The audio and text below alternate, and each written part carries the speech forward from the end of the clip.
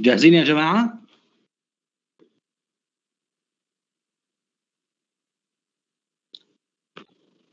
نعم حكيم جاهزين. محاضرتنا اليوم صغيرة. خلينا نبلش. لازمنا نبلش تسجيل.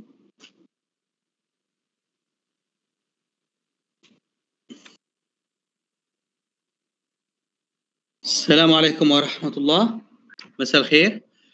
المحاضرة الماضية بدأنا بالحديث عن أمراض البنكرياس وأهم الأمراض الالتهاب البنكرياس الحاد يلي هو أحد أهم الحالات الهضمية اللي بتستدعي القبول في المشافي. أي مشفى في قسم هضمي بشكل شبه دائم في مرضى التهاب بنكرياس حاد. آه، التهاب البنكرياس المزمن يلي بنحكي عنه اليوم بصراحة ببلادنا نادر جدا. أما بالغرب هو شائع وهو معضلة بسبب آه، شيوع إدمان الكحول اللي هو السبب الأول بامتياز التهاب البنكرياس المزمن. الموضوع الثاني ما نحكي عنه اليوم سرطان البنكرياس يعني نوعا ما شائع وعم نشوفه. يمكن يعني بالجراحة بتدرسوه بتفصيل أكبر. كداخلية وخاصة هضمية لازم يعني دائما نشك بسرطان آه، البنكرياس. آه، خلينا نبدأ مع التهاب البنكرياس المزمن.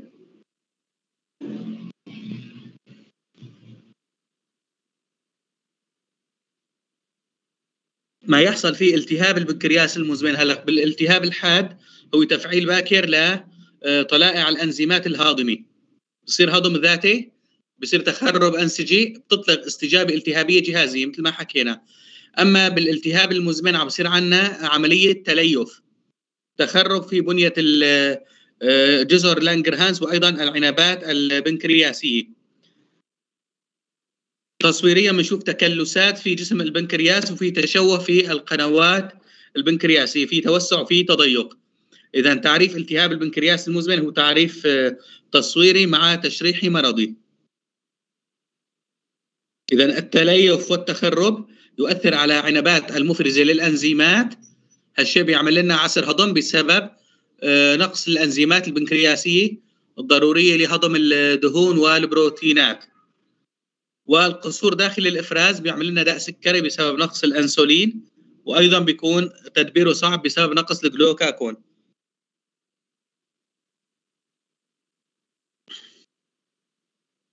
سريريا كيف يتظاهر؟ أهم أعراض التهاب البنكرياس المزمن هو الألم. الألم البطني بيكون مزمن.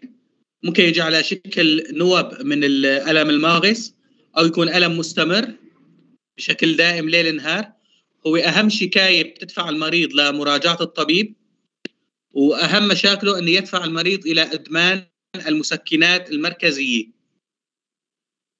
سبب الألم في التهاب البنكرياس المزمن إن الرشاحه الالتهابية أو العملية الالتهابية بتصيب التفرعات العصبية في البنكرياس. اذا هو عبارة عن تخريش للنهايات العصبية في البنكرياس. لذلك بدنا نشوف إني أكثر علاج مجدي هو استئصال البنكرياس بالكامل. سوء امتصاص الدهن والبروتين مفسر بسبب آه، غياب الليباز وغياب التريبسين والكيموتريبسين طبعا لا يظهر سوء الامتصاص إلا بعد يعني تخرج تقريبا 80 إلى 90% من البنكرياس. سوء امتصاص الدهن بيعمل عند المريض إسهال دهني. سوء التغذية البروتينية بيعمل عند المريض آه، نحافه وهزال وضمور عضلي. أما الداء السكري آه، ليه صعب الضبط؟ نحن عم تتخرب الخلايا المفرزة للأنسولين وأيضا الخلايا المفرزة للجلوكاكون.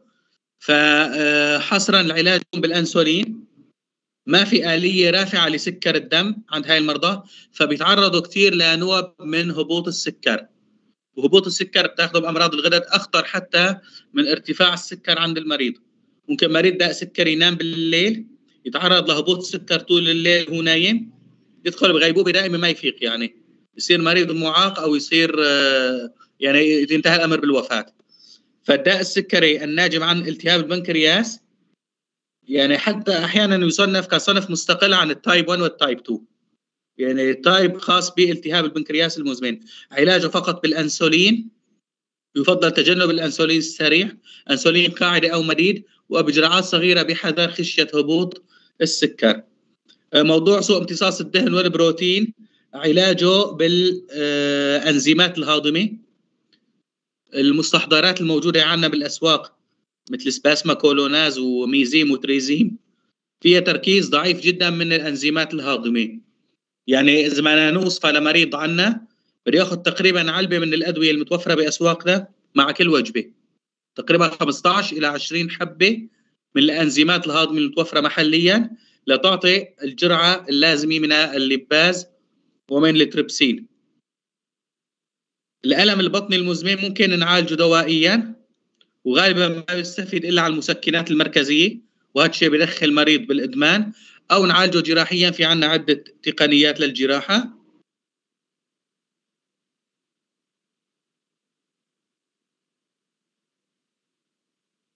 التكلسات آه، بالنسبة للتشخيص آه، التكلسات ممكن نشوفها على آه، صور مختلفة. هون عندنا صورة بطن بسيطة واقفا.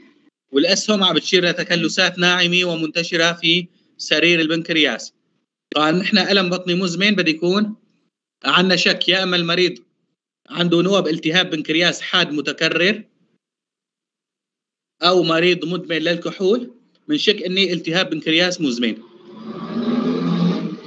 هون على الطبقي ما بعرف إذا طالع السهم عندكم هاي جسم البنكرياس في دوائر بيضاء في منتصف الصورة. هاي عبارة عن تكلسات. هذا تصوير طبقي محوري بدون حقن مادي ضليلي. جسم البنكرياس في منتصف الصورة. وفي عدة دوائر بيضاء تعبر عن تكلسات كبيرة في جسم البنكرياس.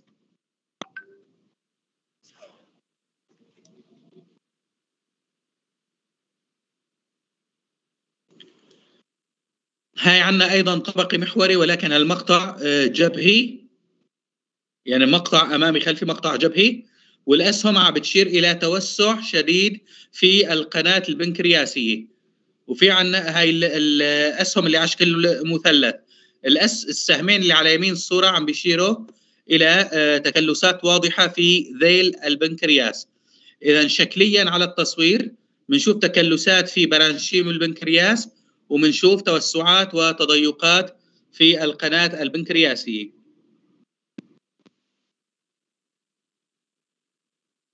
شفنا الصور على الصورة البسيطة على الطبقي وهون عندنا رنين مغناطيسي.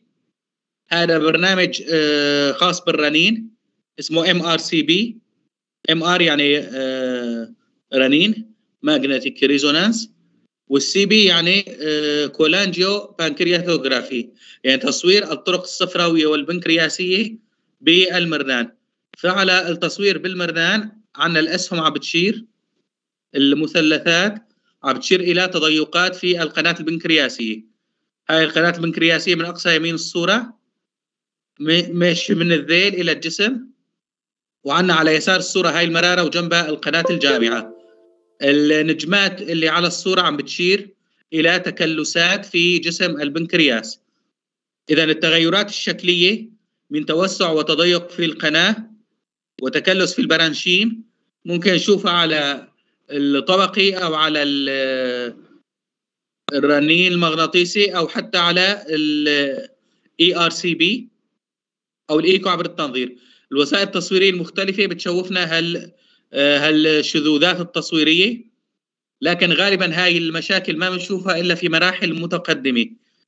يعني لا يوصل التهاب بنكرياس المزمن لمراحل متقدمة لنشوف هل تشوه في القناة البنكرياسية وهالتكلسات. في المراحل الباكرة يصعب جدا التشخيص ولذلك يتأخر التشخيص. هلا هاي صورة ERCP يعني عندنا منظار. دخل إلى العفج وحقن ماده ضليله صور القناة الصفراوية الجامعة هاي إلى أعلى الصورة. وهون السهم كاتب لنا stone في منتصف الصورة. عم يصور حصاة ضمن القناة البنكرياسية. ال ERCP هو عبارة عن إجراء تصويري وعلاجي يسمح بتنظيف القناة من الحصيات وأيضا آه، إصلاح التضيقات. طبعا نسبة قليلة من مرضى التهاب البنكرياس المزمن بيستفيدوا من العلاج بال ERCP مع إنه ال ERCP ممتاز في استخراج الحصيات وفي توسيع التضيقات لكن الألم ما هو سببه بس الحصيات؟ سبب الألم في التهاب البنكرياس المزمن هو العملية الالتهابية المخرشة لفروع الأعصاب في برانشيم البنكرياس. إذا حتى لو عملنا للمريض ERCP وسعنا القناة ونظفناها من الحصيات احتمال كبير ما يستفيد من العملية. هاي عنا آه، تقنية تصويرية أخرى اسمها الإيكو عبر التنظير. مثل المنظار الهضمي وفي براسو بروب للتصوير بالأمواج فوق الصوتية. بيعطينا صور بدقة ممتازة جدا. وعندنا هذا الظل الأسود في أسفل الصورة هاي عبارة عن قناة بنكرياسية متوسعة بشدة وجسم البنكرياس في نقط بيض اللي هي التكلسات. إذا نفس الشذوذات عم نشوفها بعدة وسائل تصويرية مختلفة.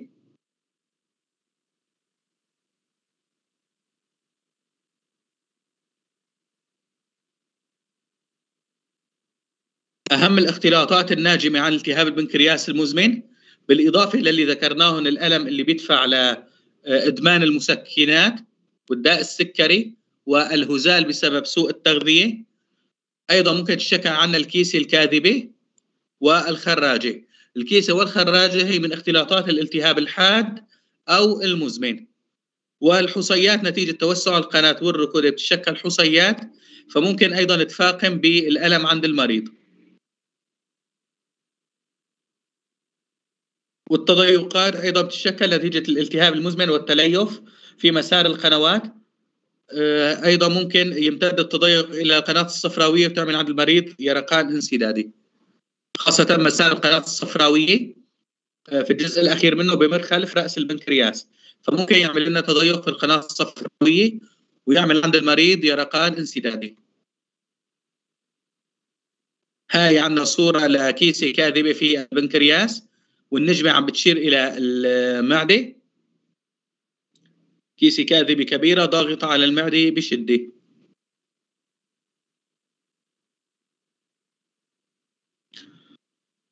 العلاج العملي عنا ببلادنا باختصار هو استئصال كامل للبنكرياس يعني بنشوف حالة أو حالتين بالسنة فالجراحين بيقول لنا خلص استأصل البنكرياس وارتاح.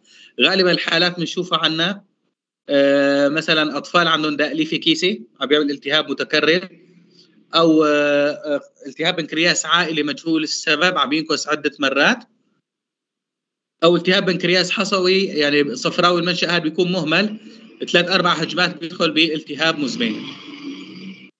تسكين الألم بنحاول يعني قدر الإمكان نتجنب المسكنات المركزية لأن أحيانا الألم سببه الحالة النفسية عند المريض. ممكن جزء من المرضى يستفيدوا من مضادات الاكتئاب بجرعات بسيطة. القصور خارج الإفراز قلنا يحتاج إلى جرعات كبيرة من الأنزيمات الهاضمة كمستحضرات فموية. تقريبا من 80 ألف وحدة من اللباز. الأدوية عندنا في فيها 3500 أو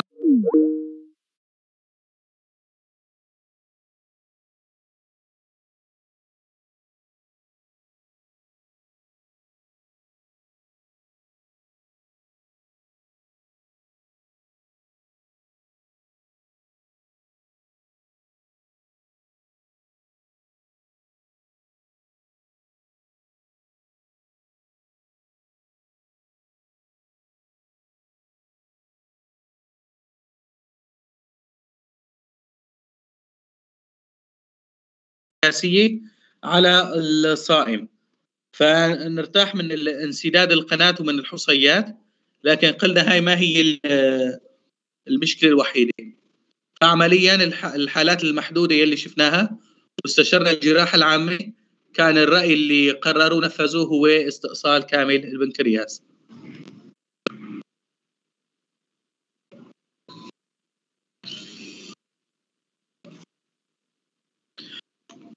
موضوعنا الثاني اليوم هو سرطان البنكرياس. سرطان البنكرياس يعني الشائع نوعا ما بنشوفه بالممارسة.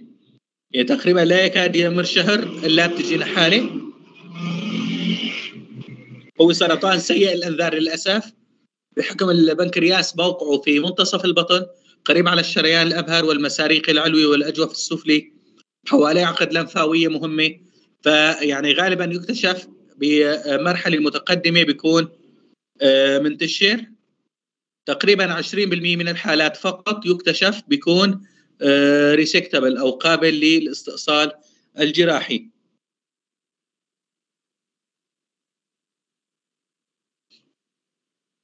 عوامل خطر اللي بتذكرها الدراسات التهاب البنكرياس المزمن.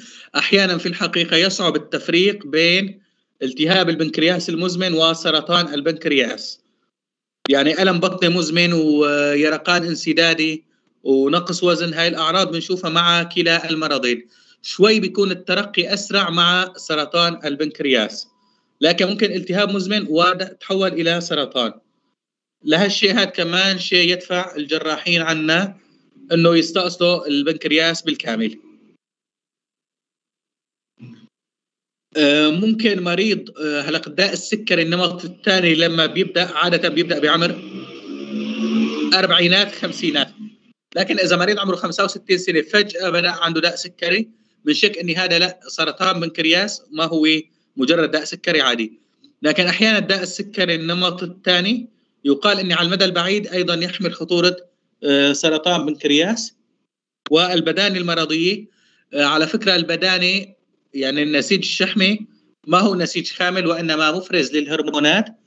ففي دراسات كثيرة آه، بتربط البدانه المرضية مع كثير سرطانات مثل سرطان الثدي سرطان الغده في المري. كثير أورام مرتبطة بالبدانة بسبب النشاط الهرموني للنسيج الدهني. من بيناتها سرطان البنكرياس. سريريا غالبا المريض بيكون متقدم في السن لكن بصراحة بنشوفه حتى عند مرضى شباب. آه، بالممارسة أهم عرض عم نشوفه هو نقص الوزن. بيجينا مريض إني أنا ما عملت رجيم أو شيء نزل وزني 10 20 كيلو. فدائما نحن بنطلب طبقي مع التركيز على البنكرياس. ممكن يشكو من ألم بطني مزمن لكن الألم يعني إحنا بنستقصيه اولا بالتنظير. أهم شكاية يعني كممارسة عملية عم نشوفها هي نقص الوزن. ممكن يتظاهر سرطان البنكرياس كالتهاب بنكرياس حاد حقيقي إني آه الورم صار عند رأس البنكرياس سد القناة البنكرياسية فأجانا بنوبة التهاب آه بنكرياس حاد. ممكن يجينا على شكل بدء مفاجئ لداء سكري عند مريض كهل عند مريض مسن لأن داء السكري قلنا يبدأ في منتصف العمر تقريبا. وممكن اللي بنسميه اليرقان الانسدادي غير المؤلم. اليرقان المؤلم غالبا بيعبر عن حالة التهابية. مثلا حصاة تسد القناة الجامعة بيجي المريض متألم. أما المريض لما بيجينا مريض مسن عنده يرقان وما متألم ويقول ما بحس بشيء ويومين بيطيب الأبو صفار غالبا بيكون عنده سرطان في البنكرياس أو في الطرق الصفراوية.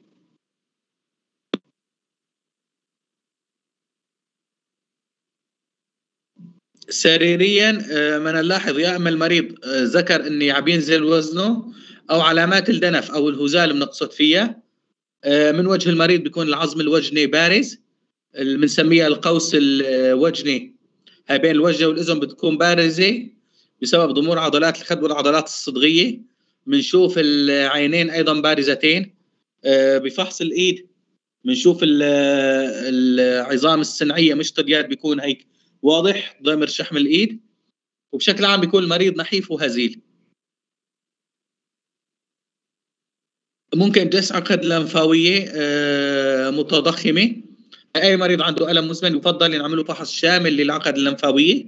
آه، عقدة الشرسوف تسمى عقدة سيستر ماري جوزيف والعقدة فوق الترقوي اسمها عقدة فيرشو. هاي عقد مميزة لسرطان المعدة وسرطان البنكرياس.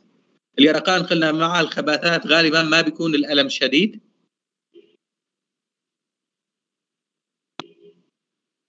علامة كورفوازيه هي جس آه، بسموها مرارة إجاصية مرارة بتكون آه، مستسقية بشدة بسبب اليرقان الانسدادي.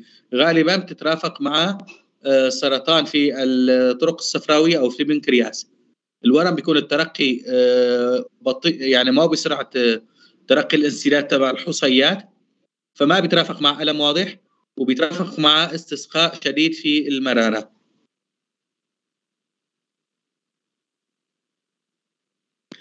أهم الواسمات لسرطان البنكرياس وأيضا الطرق الصفراوية هو CA 99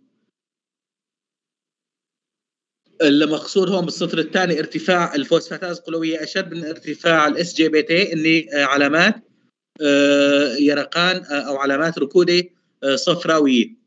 البيليروبين يرتفع مع المشاكل الانسدادية وأيضا يرتفع مع مشاكل التهاب الخلية الكبدية. فنحن بنطلب مع SGPT وبنطلب فوسفاتاز قلوية. فارتفاع الفوسفاتاز القلوية إذا كان هو المسيطر هذا بيوجهنا نحو آفة انسدادية هون هاي صورة إيكو. عم تشوفنا كتلة غير متجانسة عند رأس البنكرياس. هاي إلى يمين الصورة هاي جسم البنكرياس هذا الخط الأسود هذا الوعاء. الأفقي هو الوريد الطحالي. ماشي تماما بمحاذاة بمحاذاة الجسم البنكرياس. وعندنا هذا المقطع العرضي في الشريان الأبهر. وهون الوريد الأجوف السفلي. هون صورة طبقي محوري إلى يسار الصورة الكبد والمرارة والأسهم الحمراء الأربعة عم بتشير إلى ورم في رأس البنكرياس. وهاي الجوف الأسود المدور في اليمين والأمام هو المعدة. طبعا بالمقطع المقطع الطبقي نحن نتخيل المريض مستلقي على ظهره ونحن واقفين عند قدمي المريض وعم نطلع. فيميننا يمين الصورة هو يسار المريض. ويسار الصورة هو يمين المريض.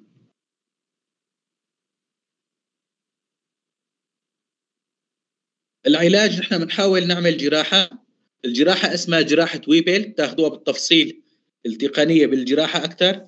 يتم استئصال البنكرياس كاملا مع آه، غالبا آه، العفج والعقد اللمفاوي المحيطة ممكن ينشال معهم آه، غار المعدة وتنشال المرارة. طبعا أقل من 20% من سرطانات البنكرياس بتكون قابلة للاستئصال عند اكتشافها. وهي أصولا ينعمل للمريض إيكو عبر التنظير ونتأكد أن ما في غزو للأوعية. إذا كان الورم غير قابل للاستئصال نحن كيف بدنا نلطف اليرقان والحكة؟ في عندنا انسداد صفراوي يجرى للمريض تنظير طرق صفراوية وتركيب شبكة من أجل تصريف الصفراء المحتبسة. بتلطف أعراض الصفار والحكه آه، ممكن شوي تحسن استجابة المريض للعلاج الكيميائي. وتعويض الخمائر البنكرياسية لتحسين أعراض سوء التغذية عند المريض. وقلنا المريض سيحتاج إلى جرعة كبيرة من الحبوب حتى يعوض الشيء اللازم للحد الأدنى من التغذية. موضوعين اليوم ما كثير يعني على أهمية بسبب ندرته نوعا ما. أهم شيء في المحاضرة أنا عارف إيمت من شك بسرطان البنكرياس ونطلب له طبقي محوري يفضل آه، عالي الدقة متعدد الشرائح مع التركيز على البنكرياس ما بيضيع التشخيص إن شاء الله. شكرا لاستماعكم بتمنى لكم التوفيق. إذا في أسئلة تفضلوا. حكيم ممدوح عندك السلايدات نعم ما سمعت. حكيم مملوك عندك بالسلايدات في اختلاف شوي عن المعلومات الموجوده بالمقرر؟ يعني في في شيء زيادة؟ المطلوب هو المقرر ال PDF اللي بعثت لكم إياه بس. تمام؟ طيب تمام. مشكور حكيم الله يعطيك العافية. بنفتح المقرر وحط منه الأسئلة. الله يعطيك العافية دكتورنا دكتور. بس بعد إذنك مكتوبة عن بالتهاب الانكرياس المزمن بالاختلاطات آه، حصيات. آه، سبب ولا اختلاط آه، بالحصيات؟ لا غالبا بتكون اختلاط وبتفاقم حاله التهاب المزمن بيعمل هو لأنه مرت... إيه، هو لأنه الحصيات هي من الأسباب للحاد التهاب الحاد. بس إنه هون شفنا مكتوب بالاختلاطات المزمن إنه حصيات. حصيات يعني... في القناه البنكرياسية. الحصيات الصفراوية تنزل على البنكرياس تعمل التهاب حاد. أما الالتهاب المزمن الحصيات أيوه. إيه, إيه، الحصيات هي السبب للالتهاب حاد؟ أما هي ممكن تصير اختلاط لمزمن؟ حصيات المرارة يلي نازلة على البنكرياس تعمل التهاب حاد تمام؟ إيه تمام. أخذنا هذا السبب يعني صارت الحصيات هي السبب الالتهاب البنكرياس حاد صحيح. بس هون هنا مر معنا جو بالاختلاطات المزمن المزمن بيعمل تليف بالقناة بصير ركوده فبتتشكل حصيات بدئيه حصيات بنكرياسية هاي. غير نوع من الحصيات. أيوه تمام. أيوه إيه هنيك حصيات أيوه هنيك حصيات كانت سبب للحاد هون حصيات صارت اختلاط آه، نتجت عن الركودة. إيه وهاي بتنتج بقى بتسد قناة البنكرياسية وبتفاقم وبتسرع من الالتهاب المزمن.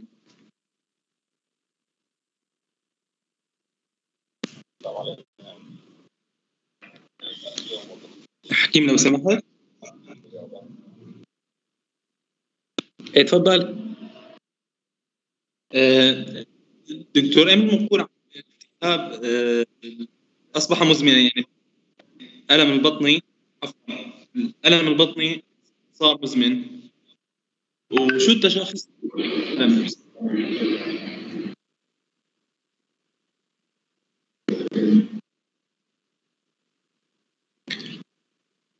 ما سمعت السؤال منيح؟ كأني عم تقول الألم البطني عموما؟ الألم البطني المزمن بده يكون أكثر من ثلاثة شهور تقريبا. وشو التشخيص تقريبا؟ إيه هون أسباب كثيرة يعني. يعني منها عسر الهضم الوظيفي القرحة الهضمية القرحة العفجية آه، حصيات المرارة التهاب بنكرياس مزمن الكولون العصبي ال IBS التهابات الكولون بانواعها من ناخذها أورام البطن كلها. في يعني في كثير أسباب.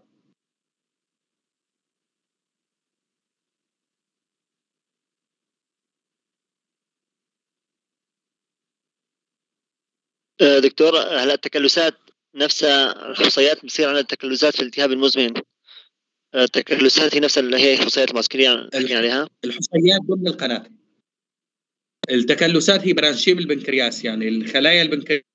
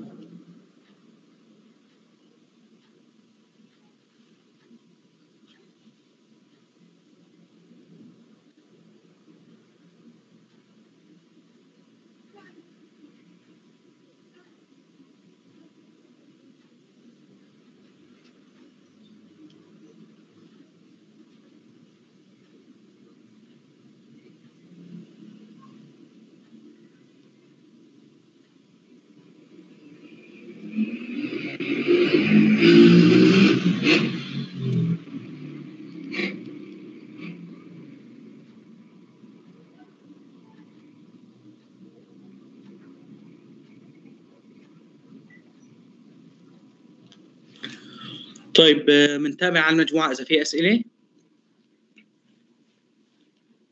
يعطيكم العافية وتصبحوا على خير. الله يعافيك يا رب وأنت من الخير دكتورنا.